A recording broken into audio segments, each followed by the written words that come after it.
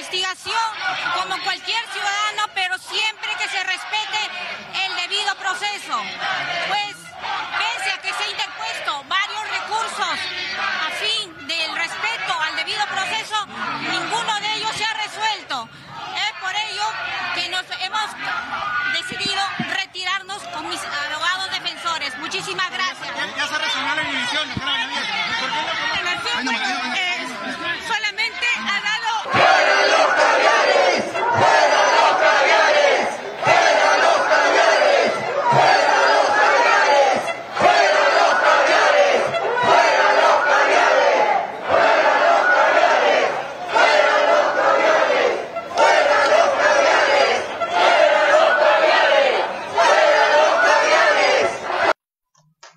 Buenos días, señores integrantes de la Junta Nacional de Justicia. Me presento ante ustedes por respeto al Estado de Derecho. Siempre he respetado los cauces constitucionales y legales, pero eso sí, he ejercido mi derecho de defensa como cualquier ciudadano peruano y he exigido que se respete mi derecho al debido proceso. Me someto a cualquier tipo de investigación en la que se respeten mis derechos constitucionales y fundamentales.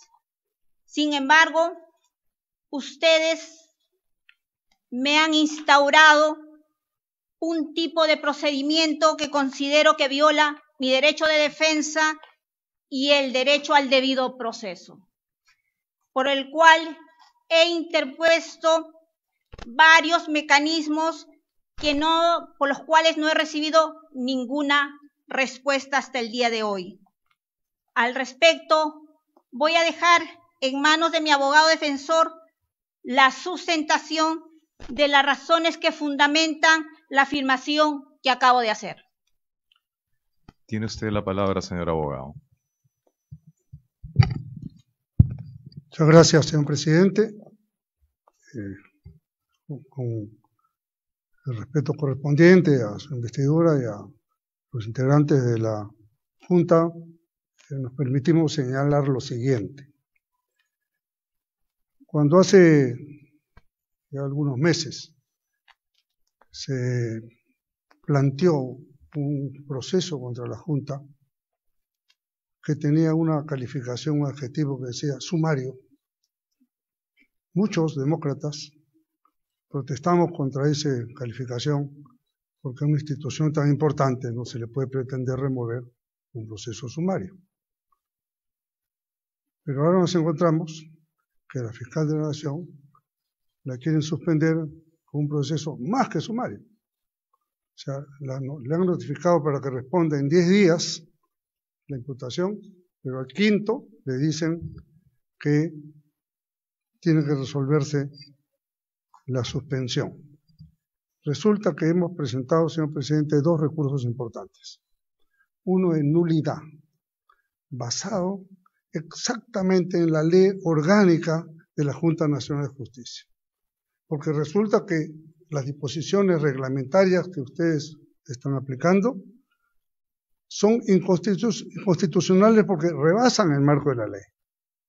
Ejemplo, la ley dice que debe iniciarse proceso previa investigación preliminar. Ustedes en la resolución han dicho que prescindir de la investigación preliminar. Entonces, y tenemos otro recurso de inhibición. No, hemos- no han sido resueltos. Ha sido resuelto equivocadamente un recurso diciendo no procede la postergación de la audiencia que solicitamos porque eso era consecuencia de un pedido de nulidad. La nulidad no la ha resuelto, señor presidente, y la inhibición tampoco. Acabamos de veri- verificar este minuto y no ha llegado absolutamente nada, ni ha salido, ni tampoco está en la mesa de partes. Si es que la, la cuestión previa, si me permite, señor presidente, es, yo creo que esta sesión no se puede realizar si no resuelven previamente los recursos que hemos presentado, que son nada menos que de inhibición y de nulidad.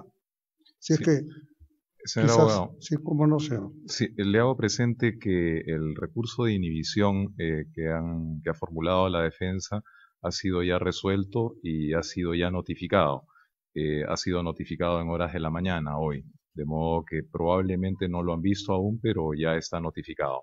Es probable que haya sido notificado, no sé exactamente la hora, pero probablemente a las 8 y 45, 8 y 50. Eh, claro, pero señor presidente, no ha llegado.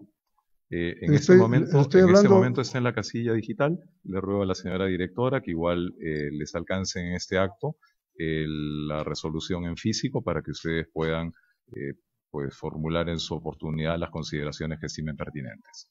Por sí, favor, señor presidente, pero como usted comprenderá, una decisión tan importante, notificado minutos antes de que empiece esta sesión, pues no es lo más regular que, que digamos, ¿no?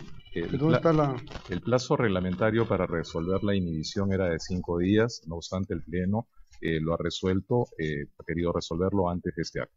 Puede Sí. usted continuar, señor abogado. Eh, Señor presidente, le, le- le confieso que en, en estos términos consideramos, y más aún teniendo en cuenta que sin escuchar, antes de esta audiencia, y sin escuchar, y hay un proyecto de resolución de suspensión, consideramos que las garantías no están dadas como para asumir un, o continuar con este procedimiento. Así que, con su permiso, y los señores magistrados, nos vamos a retirar con la señora fiscal de la Nación. Bien, eh, eh, estando, a, estando a lo señalado por el señor abogado, esta, eh, este- esta solicitud de medida eh, cautelar queda al voto. Pueden retirarse cuando lo estimen pertinente.